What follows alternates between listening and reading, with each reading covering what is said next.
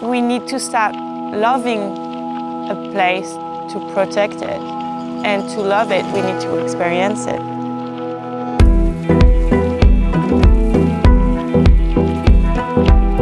You know, a small group of people can change the world.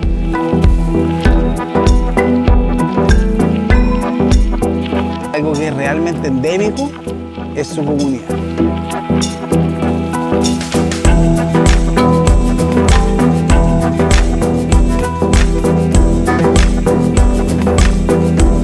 Respetan la naturaleza de una manera que, que si el mundo entero la respetara de esa manera estaríamos viviendo en otro mundo, yo creo.